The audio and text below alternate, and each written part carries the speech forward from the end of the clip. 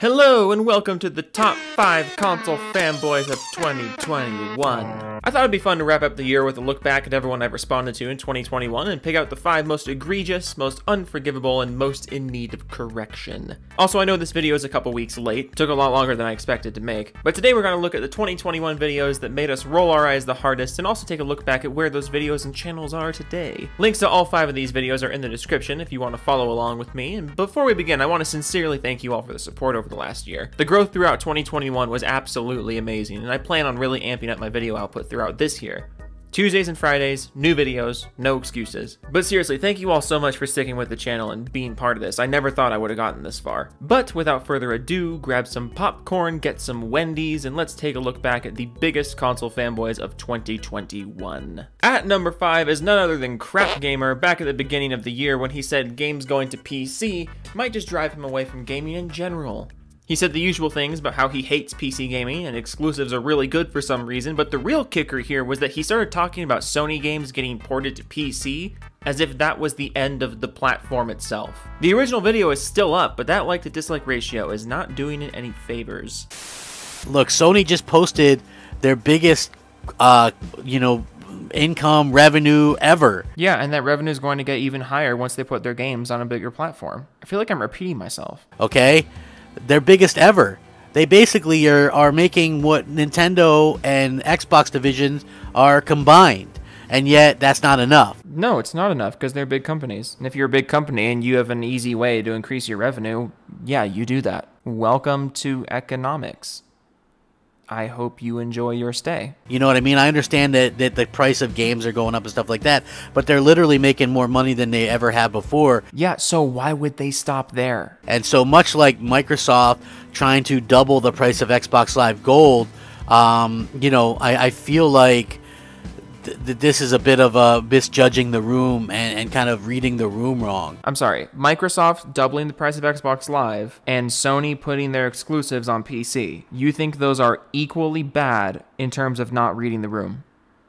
Do I have that right? Microsoft trying to double the charge of something you shouldn't have to pay for, and Sony making their games more available to more people. You think those are equally bad? Wow. You know, and I do feel like that's kind of a mistake. Um, you know, at the end of the day, am I going to continue to buy PlayStation games? Yeah. So this affects you not at all. I'm a console gamer for the same reason I still buy Xbox and Xbox games. Okay, is because I'm never going to be a PC gamer. I'm never going to be a cloud gamer. Yeah, so you're the person I was talking about. You're the person who plays on console and still buys multi-platform games because you don't want to play on PC. You want to play on console. You want to play those games. You just don't want to play them on PC. And that's an option. Weird. Weird. Weird. It's almost like I described that exact fucking thing five minutes ago. Right? So the, the place for me to play are these consoles. And that's what I suspect most people will say. Globally, no, that's not what most people would say. And most people will do. But at some point, you have to realize Sony is keeping pushing people, right? They're going to keep pushing it, right? It started off as, well, uh, you know, we want, you know, we're going to put, you know, a, a, game here or there, maybe a multiplayer game on PC, right? And then, you know, then it was a three year old game, and now it's a two year old game, and then next thing you know, it's a day and date game. And I think that that's probably um, where this is all headed. And yeah, that's a great thing.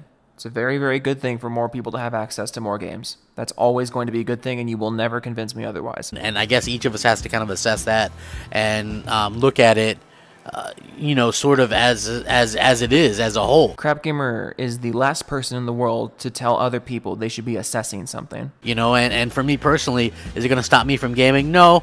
Is it a little depressing? Yeah. Imagine being depressed that more people get to play the games that you like.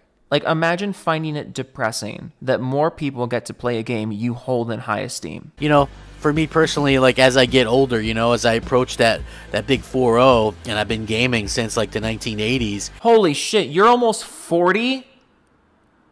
I'm sorry, you. I didn't. I didn't know this. You're almost 40.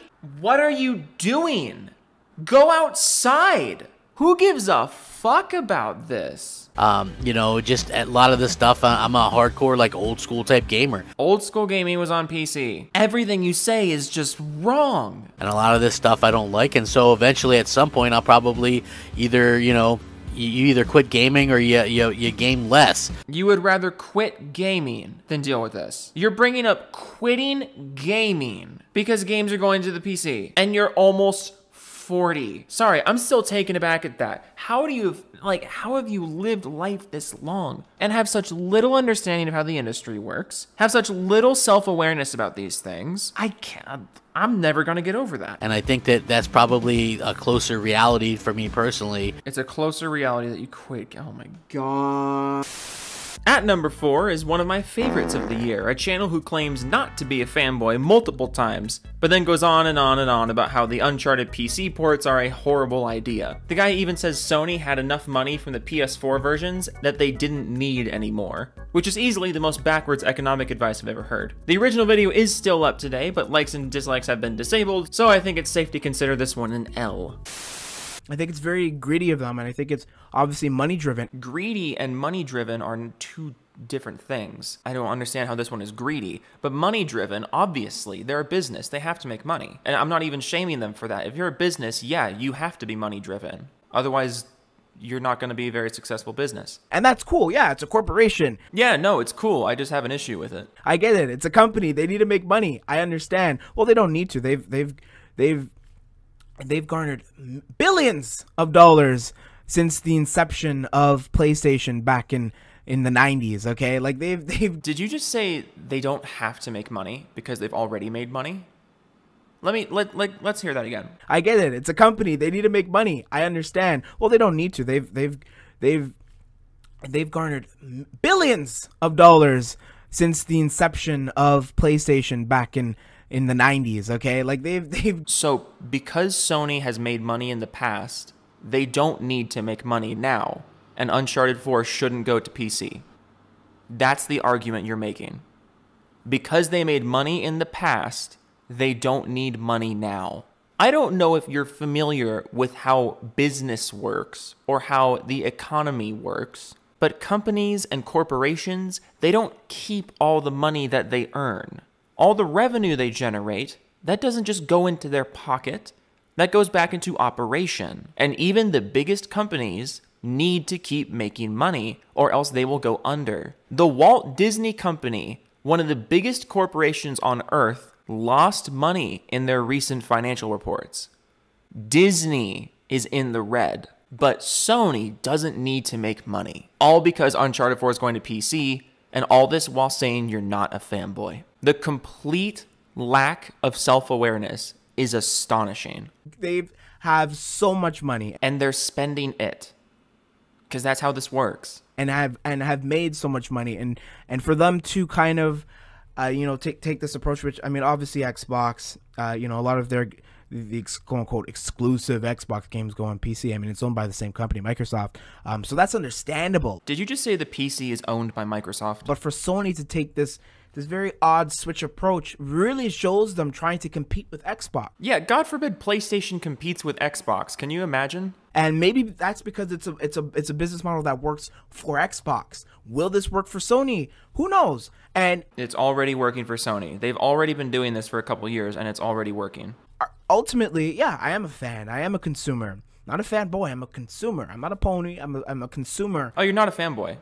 Keep that in mind as we keep going. Just think of everything he said so far and keep that in mind as he keeps going. He's not a fanboy. He insists. And if he says it, it has to be true. This is your content. This is your channel. Okay. At number three, we've got perhaps the most blatantly bad take of the whole year. In case you missed it, Microsoft announced back in early 2021 that they were doubling the price of Xbox Live Gold for some reason. I don't remember the reason. But like clockwork, the Xbox fanboys came out and defended it. In this video, E-Rock X decrees that people who don't want to pay the extra money for Xbox Live are lazy and broke and need to get out of the hobby as a whole. Astonishingly, this video is still up and the likes and dislikes are still public, which I almost respect. Because if you was a real fucking gamer, you'd have just coughed up the fucking bread or got out. Uh, no, that's not a gamer, that's a bootlicker. I don't have no fucking sympathy for you broke ass motherfuckers out here crying about not being able to afford Xbox Live or afford games. Bootlicker, someone who seeks favor or goodwill in a servile, degraded way. He comes across as a facile bootlicker, someone who would do anything like a lapdog to please somebody in the chain of command. Hmm. Because I was a broke ass motherfucker once and he had to buy me a game. And guess what? I made a decision in 2015 between Rise of the Tomb Raider or Turkey. I chose Turkey. That's a good choice. Turkey will give you infinitely more enjoyment than Rise of the Tomb Raider. And Turkey is temporary. Think about that. I knew what my priorities was. My priorities was not gaming.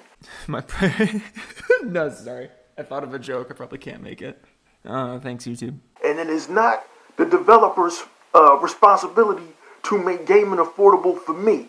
I had to up my game, work more, get a better job in the tourism industry, and fucking make that bread so I could afford gaming. You're describing two different things. You're describing somebody who likes gaming but doesn't have income, so they need a job. So there's that scenario, but then there's what happened a few weeks ago is completely different. This was gamers not wanting to be taken advantage of. This had nothing to do with people being broke. Obviously, this decision would have an effect on people with not as much money to spend on gaming or not as much money that they're willing to spend on gaming. That's the other thing you need to realize. Just because somebody doesn't want to spend $120 a year on Xbox Live doesn't mean they're broke. I wouldn't call myself broke, I'm doing just fine. But if they raise the price to $120, you bet your ass I was canceling, just out of principle. I'm not about to drop 120 bucks a year on that. That's insulting. It's bad enough you're charging people $60 for something they shouldn't have to pay for. Now you're doubling the price? Get the fuck out of here, Microsoft.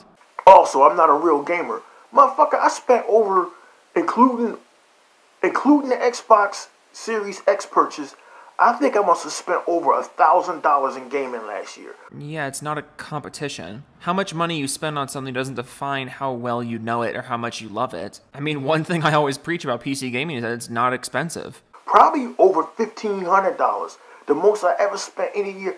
I just buy games on GP to support the developers. Even the shit that's on Game Pass.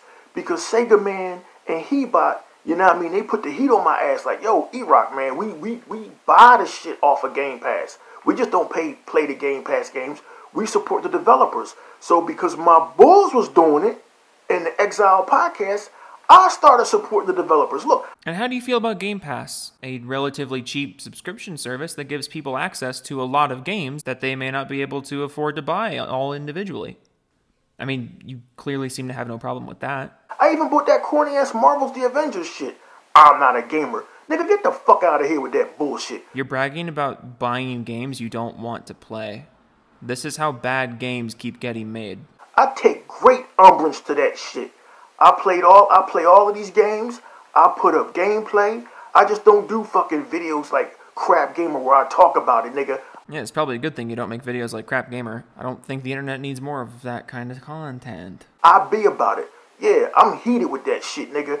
I take great umbrance with that shit. So whoever that dude was that said that shit, nigga, fuck you. You don't know me, motherfucker. I mean, he definitely struck a chord. That's always the funniest thing about stuff like this. It's like, this doesn't affect me. I'm not upset about this. Proceeds to complain about it for five minutes. At number two is one of the longest videos of the year and kind of a blast from the past. You don't see big console versus PC lists like this nowadays, and I wish you did because they make some of the best content for me. Shocker, he took this video down. Not surprising since he tried to defend paying to play games online, and he made pretty much all the stereotypical console points, but he got almost every detail wrong. This one was a trip. Number two, no graphics card or CPU needed. I'm sorry, weren't Microsoft and Sony both fucking wetting themselves over how awesome their hardware is? Now, yes, uh, consoles do have CPUs, but they don't have CPUs like PC. This is actually true. Because console CPUs are shit. See, if you play a game on PC without a CPU or without a graphics card, you're not going to enjoy that game the way you could enjoy it on a console. You see, okay, for starters, if you don't have a CPU in your computer, you're not going to be able to do anything, let alone run games. And as for the GPU, it's totally possible to play games without one. Sure, you won't get amazing visuals, but it's completely possible. My laptop doesn't have a GPU, and I can emulate on it without really any problems at all. And there's still plenty of budget PC gamers out there using APUs. Obviously, you want a dedicated graphics card if you truly want to experience PC gaming, but that doesn't mean it's impossible without one, not even close. PCs are not a gaming. It's not for gaming. That's weird because there's over a billion people using them that way. Even though they're called a gaming PC, a PC is not only built for gaming, it's built for a lot of things. You know, gaming being one of those things. If I build my PC to be really good at gaming, it is a gaming PC. But also, computers as a whole are designed to be able to do a lot of different things. A computer isn't designed for any one purpose. That's kind of the point. And the openness of the hardware is what makes them so good for gaming. A console, and I'll get to that in a minute, is only for gaming. That's weird because I've been hearing for years about how they're entertainment centers. So, if you play, let's say, GTA 5 on a on a PC without a graphics card or a CPU, you're gonna see that that game, that GTA 5 is not gonna play too good without it. Again, good luck doing anything on a computer that doesn't have a CPU, but also friendly reminder that the 7th and 8th generation of consoles didn't have GPUs either.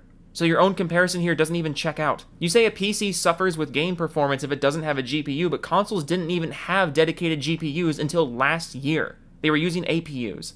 And GTA 5's been out since 2013, so what's your point? You're gonna have to go through a lot to get that game to work. Settings and stuff like that. I mean, GTA 5 runs like garbage on the consoles anyways, so not a great comparison.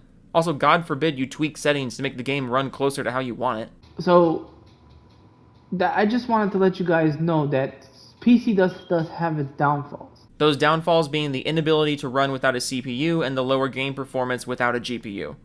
Two things that are equally applicable to the consoles. I need weed. Hang on. Bust out the BOD. What? The Bong of Destiny. But a number one today, absolutely no surprise, is the video that I already named the worst of the year. I won't preface this one too much because it's pretty self-explanatory, but if you want to see it in all its foul glory, there are links in the description to all of these full videos. Reason 4 Cheaper gaming.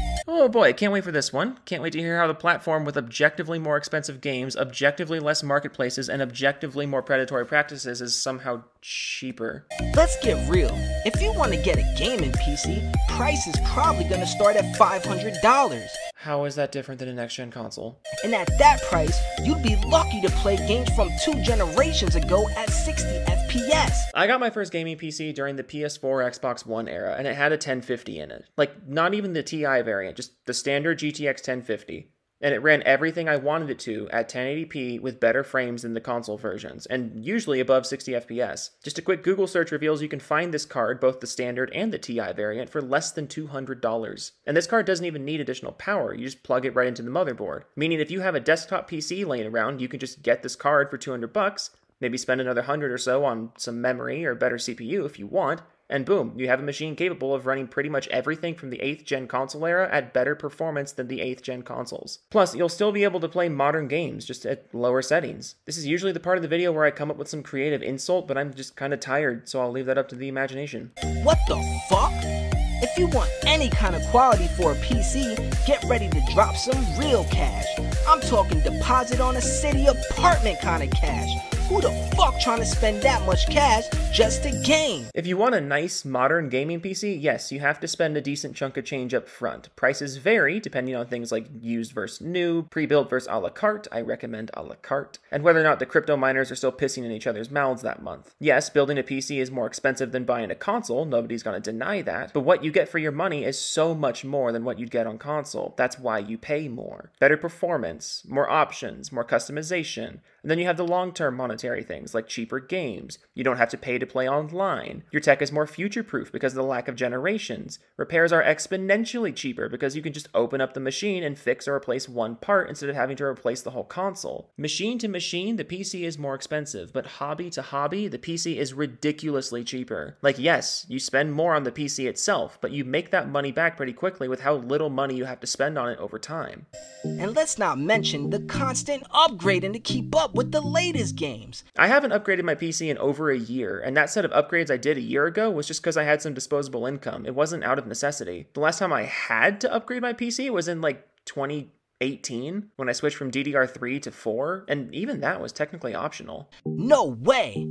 Console gamers never have to worry about that. Because you don't have the option to worry about it. We buy a console and we're good for about 7 years until the new console comes out. Yeah, that's not a good thing. Being locked into one set of hardware for 7 years is not a good thing for anyone, and if you don't understand why, you haven't been paying attention. Hell yeah! So now we can save all that extra cash to buy all those sweet exclusives that PCs will never see. While paying more for games, while paying 50 bucks a year to play your own games online, while paying more for repairs in case your console breaks, while paying another 500 bucks or so for the upgraded version of your console, while paying way more for extra controllers and hard drives. Like, how do you not get it? So those are my picks for the top five console fanboys of 2021. I'm probably going to do this again next year because it was weirdly fun. And yeah, thank you for watching the channel all year. You're the biggest MVP. Go get some Wendy's. And uh, yeah, toodles.